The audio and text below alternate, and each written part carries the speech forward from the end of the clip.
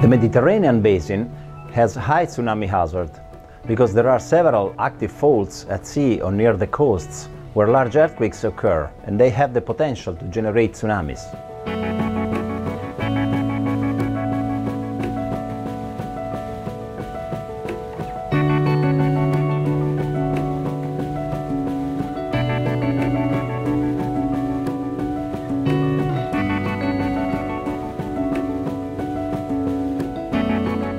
As soon as uh, in the National Institute of Geophysics and Volcanology uh, detect an earthquake that could generate a tsunami, the system is being activated. And from the uh, National Situation Room of the Department of Civil Protection is issued an alarm to the institutional actors, mayors, prefectures. In the last few years, we have mainly focused on the upstream component of the system.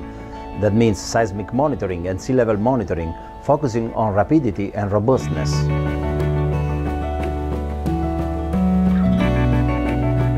Nowadays we are developing a new system, IT-alert, that can be uh, issued directly to the citizens that are on the exposed area along the coast. We have started and we are still working on the assessment of tsunami risk perception in Italy.